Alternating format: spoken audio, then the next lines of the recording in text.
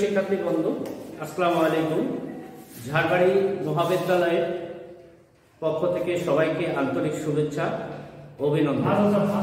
বাংলাদেশ সরকারের সিদ্ধান্ত মোতাবেক অনলাইন ক্লাসে আমি মোহাম্মদ মাহমুদুল নবী অধ্যাপক সব প্রভাষক ইংরেজি ঝাড়বাড়ি কলেজ। আমি মূলত আপনাদেরকে ইংরেজি পড়াবো।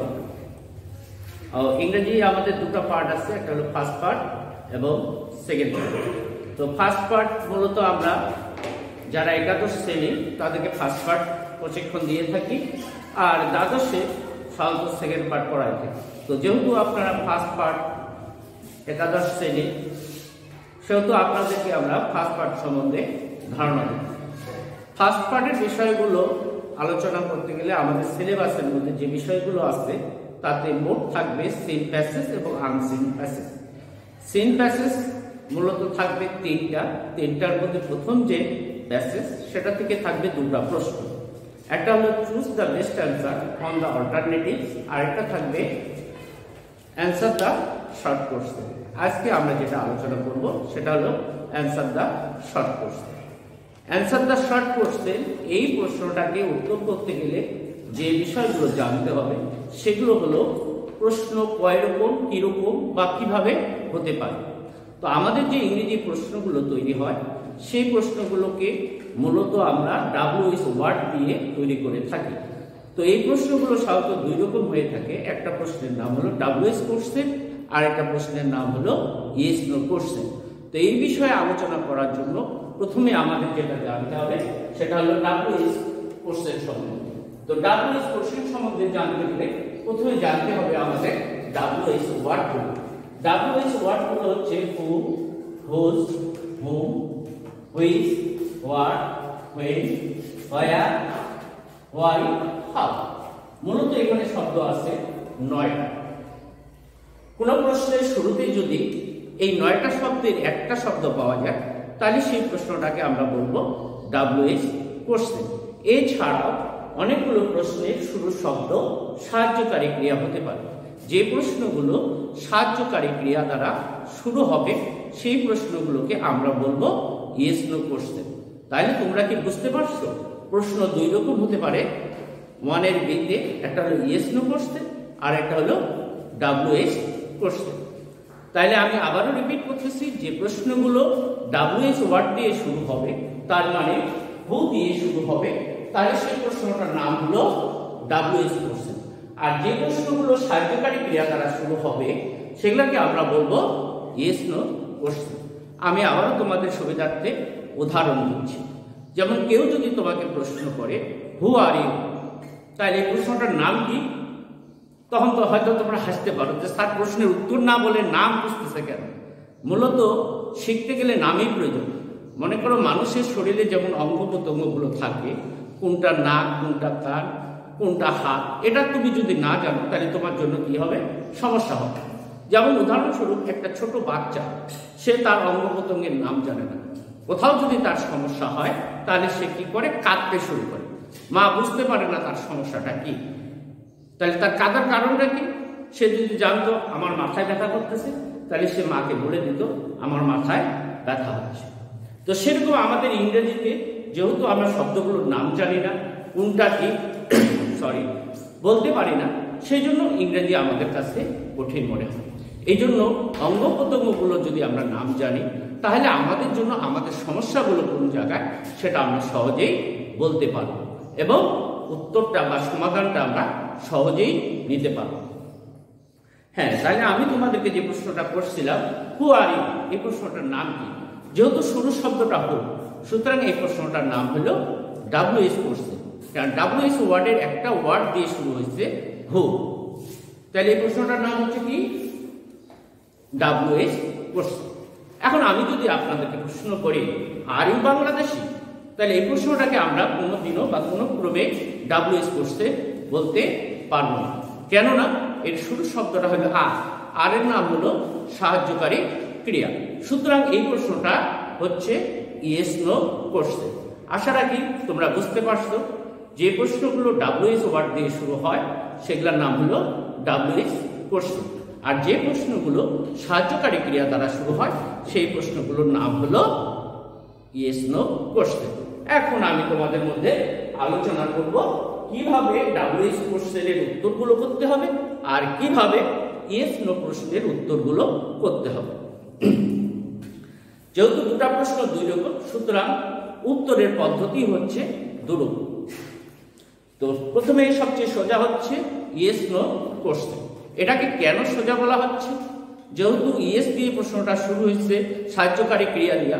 যেহেতু প্রশ্নটার নাম হচ্ছে ইয়েস নো কোশ্চেন সুতরাং এর উত্তরটা হচ্ছে ইয়েস অথবা নোতে যেমন তোমাকে প্রশ্ন করা হয়েছে আর ইউ বাংলাদেশি তাইলে আপনার এর উত্তরটা হচ্ছে হ্যাঁ আমি বাংলাদেশ।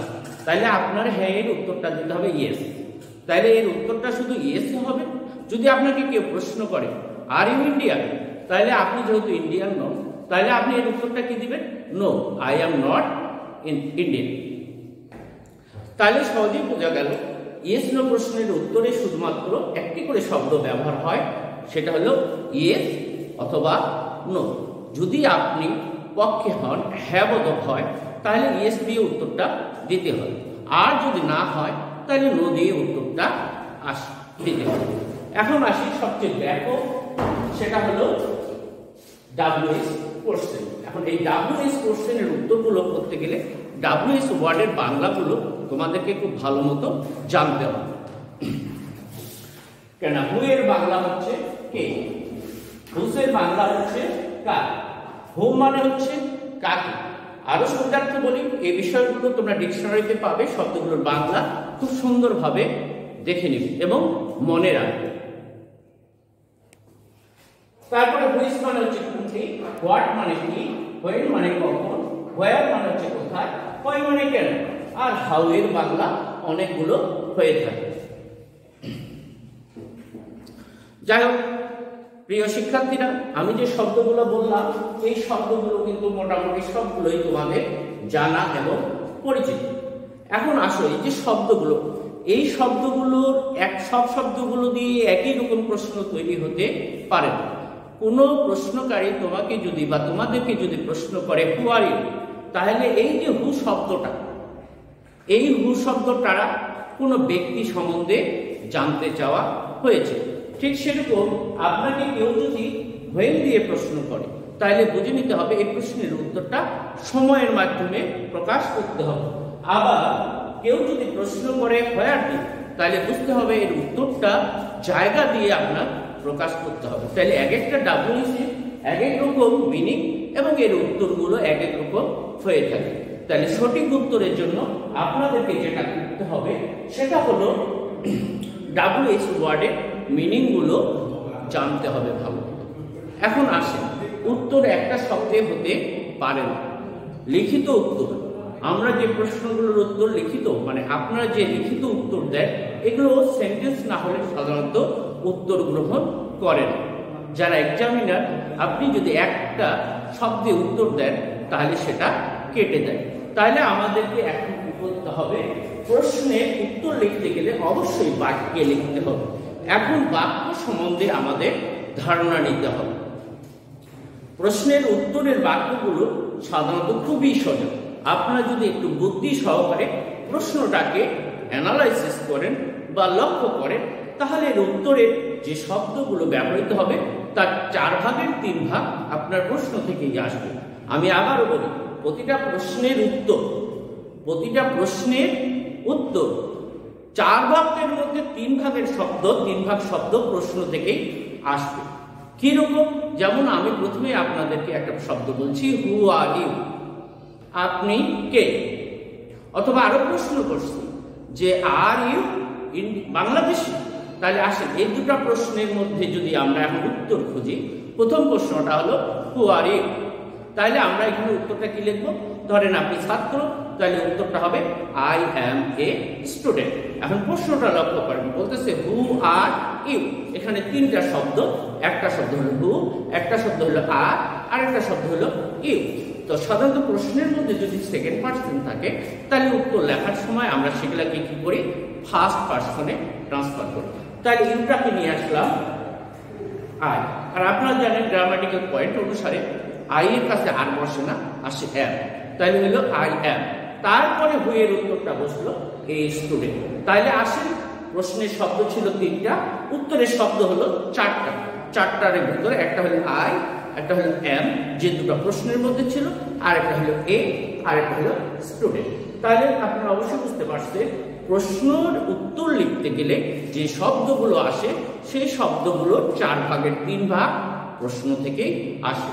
তবে একটা জিনিস মনে রাখতে হবে, জিনিসটা হলো প্রশ্ন এবং উত্তরের শব্দ অবশ্যই সমকক্ষ হতে হবে। যদি না হয়, তাহলে কিন্তু আপনার উত্তরটা সঠিক হবে না। যেরকম কেউ যদি আপনাকে বলে যে এখন বাজে কয়টা, তখন যদি আপনি উত্তর দেন, আমি একজন ছাত্র তাইলে কি হবে? উত্তরটা আপনার হবে না। কেন? প্রশ্নের মধ্যে শব্দ ছিল, এখন বাজে কয়টা? এখন বাজে কয়টা? অথচ আপনি বলতেছেন, আমি একজন ছাত্র। তাহলে প্রশ্নের শব্দ এবং উত্তরের শব্দের মধ্যে কোনো মিল নেই। তাহলে প্রিয় শিক্ষার্থী বিন্দু যেহেতু আজকে প্রথম ক্লাস, এর বেশি আর আলোচনা দীর্ঘায়িত করলাম না। তোমরা ভালো থাকো, সুস্থ থাকো, পড়ালেখার মধ্যে থাকো। আগামী ক্লাসে আবারও কথা হবে। দেখা হবে।